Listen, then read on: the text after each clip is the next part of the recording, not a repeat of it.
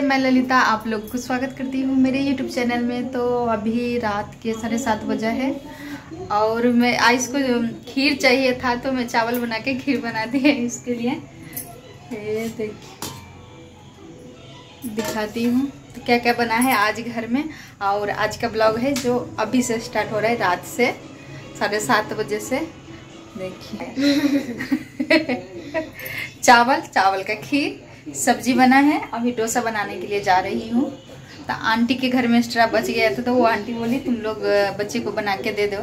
तो अभी बनाने जा रही हूँ डोसा। तो डोसा भी खाएगा और खीर भी खाएगा। तीन दिन से खीर खीर कर रहा है। तो तवा गर्म हो चुका है हट जन वो नहीं नहीं तेल डाल, बताओ। पप्पा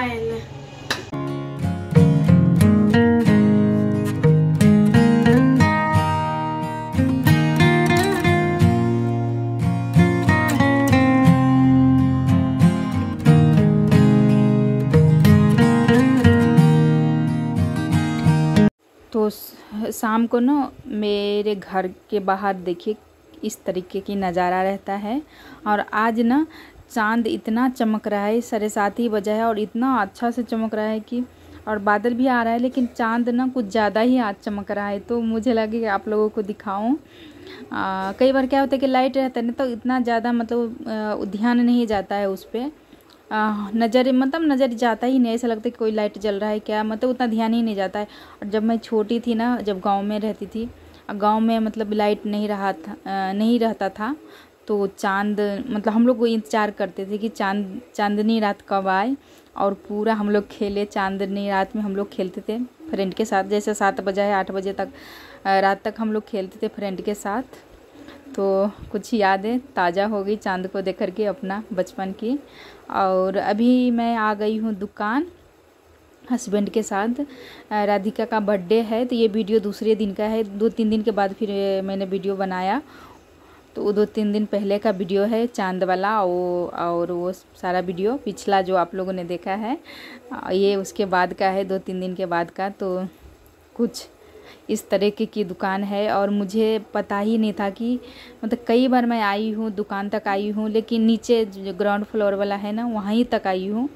वहाँ पे पूरा मतलब श्रृंगार का चीज़ मिलता है और यहाँ पूरा गिफ्ट का मिलता है। तो मतलब रोड से दिखता है ये मूर्ति जो है शीशा में पूरा लगा लगा के रखे हैं। ये बाहर से थोड़ा बहुत दिखता है, लेकिन अंदर में क्या कुछ है, वो बाहर से कुछ भी नहीं दिखता है। जब मैं पहली बार जब अंदर आई ना तब मुझे मुझे पता चला कि क्या कुछ है, इतना सारा चीज़ है। पाँच रुपया से ले कर ले कर के दस हज़ार तक का आइटम मिलता है, पूरा गिफ्ट का, हर चीज़ मिलता है, जो चाहिए सब कुछ मिलता है। तो मुझे लगा आप लोगों को भी दिखाना चाहिए, देखिए कितना खूबसूरत लग रहा है दुकान। और अब मैं, अगर ज़रूरत हो तो मैं यहीं पे आऊँगी। तो इतने साल से मैं यहाँ पर रह रही हूँ, लेकिन मुझे पता ही नहीं था। मेन चीज़ ये है कि हस्बैंड कहीं जाने नहीं देते। जब जब कोई काम नहीं होता है ना तो बोलते वहाँ जाके क्या करना है? कोई तो आज मैं बोली, चलिए हम वहाँ जाएँगे। मतलब बाहर से मैंने देखा था, लेकिन मैं बोला, उनके शायद गिफ्ट मिल जाए उस दुकान में अच्छा वाला। तो मुझे पता नहीं था सच में कि अंदर में इतना कुछ है। तो चलिए, आगे म्यूज़िक डाल देती हूँ। आप लोग देखिए एंजॉय कीजिए।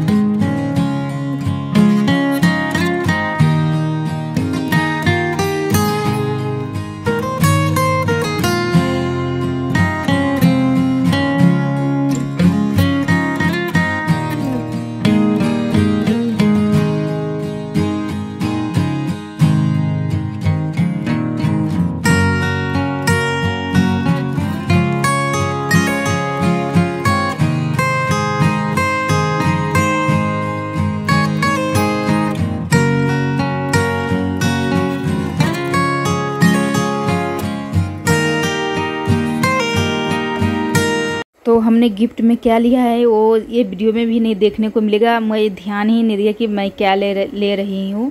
तो बाद में कभी जाऊँगी दीदी के घर ना तो आप लोगों को दिखाऊँगी कि हमने क्या गिफ्ट लिया है राधिका के लिए। तो ये देखिए, नीचे में जो ग्राउंड फ्लोर है, पूरा श्रृंगार मिलता है यहाँ पे। ये देखिए अभी पूजा का टाइम है तो ये सारा चीज़ अभी मिल रहा है। और मतलब मिल के पहले से ही सारा चीज़ मिलता है। अभी ये राखी का टाइम आ रहा है तो पूरा राखी मिल रहा है बाहर में पूरा। और ये रोड है। और देखिए हस्बैंड मुझे डांट रहे हैं कि बस हो गया वीडियो बना लिए, अंदर में, बाहर में बनाने की ज़रूरत नहीं है। उसके बाद हम लोग आ गए मतलब हस्बैंड साढ़े पाँच बजे आए हैं टूटी से छः बजे तक। तो फिर हम लोग यहाँ पे गिफ्ट लेने के लिए गए तो लेट हो गया है। तो फिर नौ बजे तक हम लोग घर पहुँचे, दीदी के घर। और देखिए सब लोग आए हुए हैं। अब केक कटिंग होगा। तो आगे मैं म्यूज़िक डाल देती हूँ।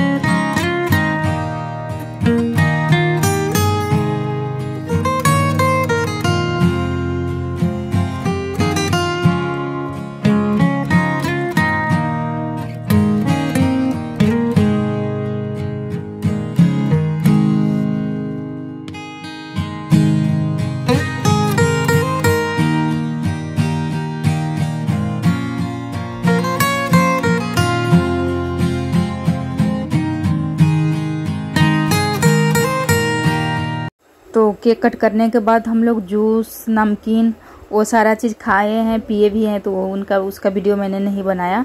और अभी दीदी कचौरी दे दिया है, हाथ में थमा दिया है कि खाओ आप, सब खाना खा रहे हैं तो आप क्यों अपना मुँह बंद करके बैठिएगा तो आप भी खाइए। तो ये है मेरी जेठानी, बड़ी, सबसे घर में बड़ी है। और अभी ये लोग खा लेंगे, अभी दस, साढ़े दस बज गया है।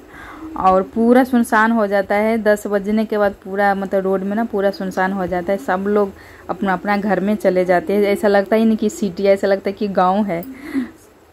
दस बजे के बाद। और कुछ फ़ोटो हमने खिंचवाई है, और फेसबुक के लिए इंस्टाग्राम के लिए। तो ये सारी चीज़ ना चीज़ ना यादें रह जाएगी। मतलब यादें रहेगी कि हम लोग कैसे थे। हमारे टाइम में ना उतना, इतना ज़्यादा सुविधा नहीं था। हमारे बच्चे के टाइम में तो सुविधा है ना। तो अभी हम चल रहे हैं घर और देखिए सब लोग सो गए हैं। तो चलिए नेक्स्ट वीडियो में जल्दी मिलती हूँ।